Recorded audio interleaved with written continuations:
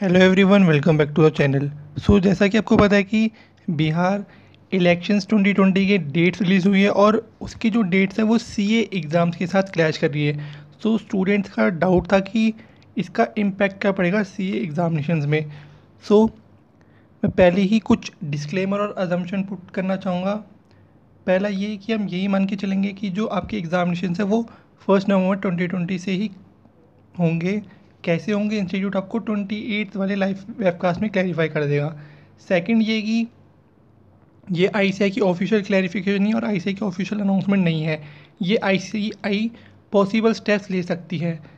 Third ये, जो भी इसमें इंफॉर्मेशन यूज़ हुई है, वो आई सी आई की ऑफिशियल नोटिफिकेशन अनाउंसमेंट है। पास्ट ईयर्स की सेम सिचुएशन जो आई के साथ अराइज हुई थी जब सी एग्ज़ाम्स इलेक्शन के साथ क्लैश हुए थे।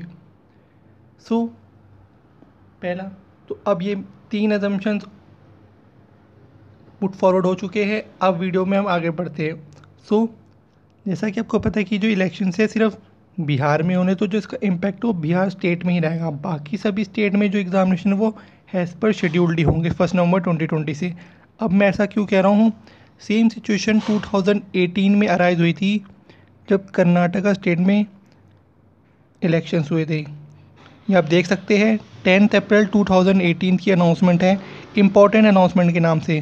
Postponement of C examination schedule to be held on eleventh and twelfth में 2018 at Karnataka state only so institute ने क्या करा था कि कर्नाटका स्टेट के जब इलेक्शंस हुए थे तो दो डेट्स क्लैश कर रही थी इलेवंथ और ट्वेल्थ तो उसको पोस्टपोन कर दिया था।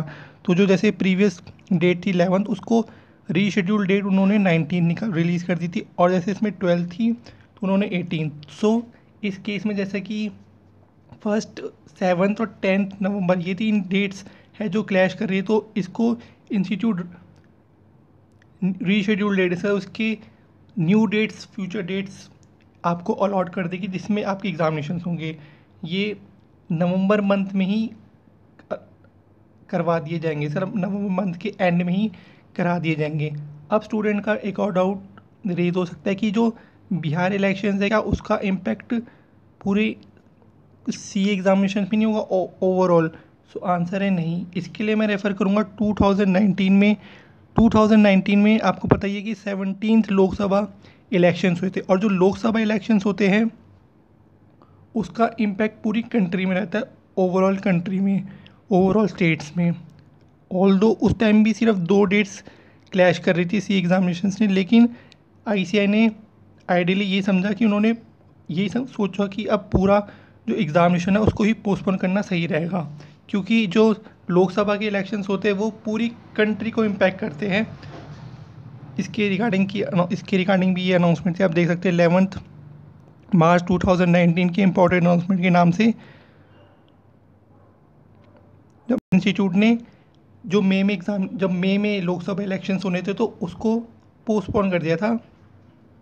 मई एंड तक। मे एंड से एग्जामिनेशन कंडक्ट करवाए गए थे। सो so, जो प्रेजेंट सिनेरियो में जो आपके इलेक्शन हो रहे बिहार इलेक्शंस वो एक स्टेट स्पेसिफिक इलेक्शन है तो उसका इम्पैक्ट स्टेट वाइज ही रहेगा। ना कि पूरा इंडिया वाइज अगर हाँ लोकसभा इलेक्शंस हो रहे होते जो कि नॉर्मली मई के मंथ में होते तो अलग होता। लेकिन ऑब्वियसली दिसंबर नवंबर में लोकसभा इलेक्शंस नहीं होते हैं। लोकसभा इलेक्शंस होते तो उसका इम्पैक्ट पूरे कंट्री में रहता, सभी स्टेट्स में रहता, उस केस में इंस्टीट्यूट पोस्टपोन कर सकती थी। लेकिन अभी सिर्फ़ बिहार इलेक्शंस हो रहे तो इसका इम्पैक्ट सिर्फ़ बिहार में होगा और सिर्फ़ इंस्टीट्यूट बिहार वाले सी एग्ज़ामिनेशंस की डेट्स को ही आगे कर सकती है पोस्टपोन सभी डेट्स को भी नहीं, सिर्फ़ क्लैशिंग डेट्स को ही पोस्टपोन करेगी। सो होप करता हूँ। और ये, फिर मैं ये बोलूँगा, ये आई की ऑफिशियल अनाउंसमेंट नहीं है आई की ऑफिशियल क्लैरिफिकेशन नहीं ये पॉसिबल स्टेप्स इंस्टीट्यूट ले सकती है। Bihar specific state C examination के रिगार्डिंग में। सो होप करता हूँ कि आपको वीडियो जो आपका जो पॉसिबल क्वेश्चन था मैं उसको आंसर कर पाया और होप करता हूँ कि आपको वीडियो इन्फॉर्मेटिव लगी हो। वीडियो को लाइक करना ना भूलेगा thank you so much for watching the video